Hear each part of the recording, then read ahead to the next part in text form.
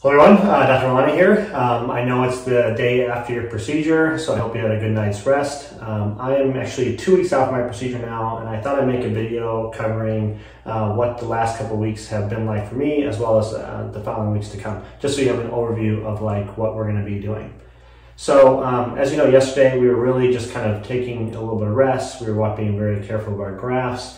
Uh, today on day one, we're going to continue a lot of that same activity. Uh, really just be working around the house, maybe working from a computer, no real exertion going on, no exercise, no sweating, no straining. Um, but obviously you can get back to work. Um, you can actually shower today as long as you don't get your um, grafts wet.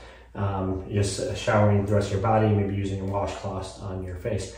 Um, also on day one, we're really gonna be trying to come back off the pain medication like in the main day one video uh, we talked about. Um, just kind of follow this instruction. On day two, um, actually got to pick up my activity a little bit more. I was off my pain medication. Uh, day two, we're actually remove the dressing. Um, we're actually going to get in the shower and we're going to wash our newly inserted hairs uh, with soapy water. Um, uh, the rest of my head, um, including where the hairs were taken out of, I just shower normally using the Baby and Baby um, Johnson Johnson baby shampoo.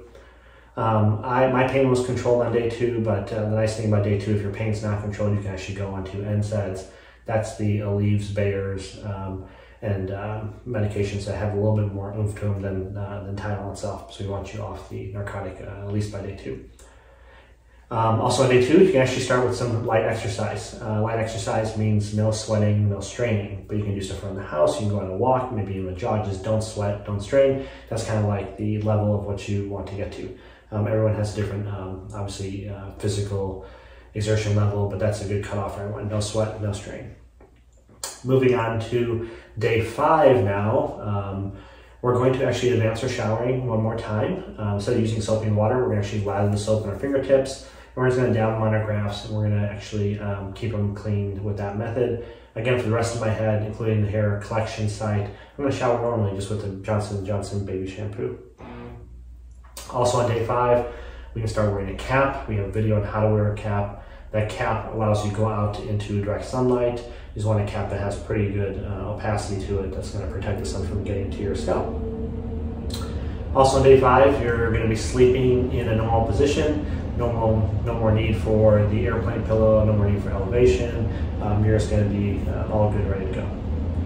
Um, also on day five, we're going to advance to moderate exercise. Uh, that means that you can sweat, you can strain, so no bearing down, no raising your blood pressure, but obviously going on a, on a light jog or a light run, um, whatever um, is normal for you, unless it's kind of moderate activity. Day 10, um, a little bit more advancement in activity. We're actually gonna start taking showers normally. Uh, we'll probably still use the Baby Baby Johnson shampoo just because it's mild, uh, but you actually will be able to wash your grafts. We just won't be scratching, it'll be a little gentle, but yeah, you'll be able to take a normal shower on the day and it'll be really nice. Um, you can also advance to regular exercise in day 10. That means uh, sweating and straining is fine. Uh, there's a limit to the amount of straining. We're actually not going to go to extreme levels. We're not going to sprint. We're not going to lift power weights. We're not going to lift heavy weights. Um, it's just a, a, normal, regular exercise routine for yourself. Just keep your blood pressure down. That's the overall goal. Around day 14, uh, we'll actually see each other in the clinic. Um, we'll take a look at your grafts. If you are part of our kind of normal track, we're going to cut your hair for the first time. We're going to get all the crust cleaned out so you feel nice and fresh.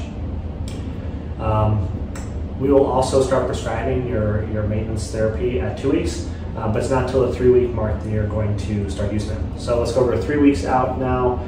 Um, the first thing I just said, you can actually start your maintenance therapies back. So uh, the finasterides, the minoxidils, um, the laser caps. Um, if you're getting PRP, we wait till the six week mark, but those other maintenance therapies we're gonna go back to.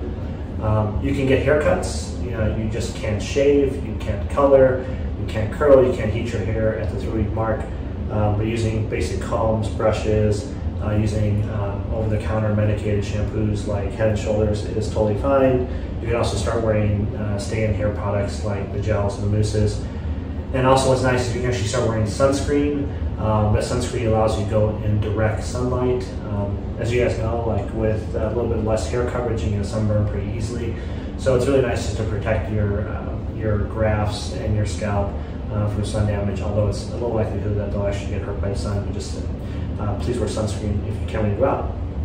At three weeks, uh, you're back to full-blown exercise. This is as intense as you want to get. You can sprint, you can do interval training, you can wear, do weights, powerlifting, whatever it is that you do, um, you're free and clear um, at the three-week mark to go through. So it's a really nice um, kind of um, point where things are just almost totally back to normal. Um, at the six-week mark, um, we are going to allow you to do pretty much anything you want with your hair. That is curling it, heating it, coloring it, shaving it, um, that is all totally fine at this week, six week mark. Um, just really quickly, I'm to go back. Whenever I talk about the hair where we want to be safe, it's usually the newly inserted hairs. The area where we're collecting your hair from um, is relatively safe to start doing most things at day two. So uh, don't worry about that, uh, that area itself. But hopefully um, that helps outline what the next six weeks look like in terms of your activity.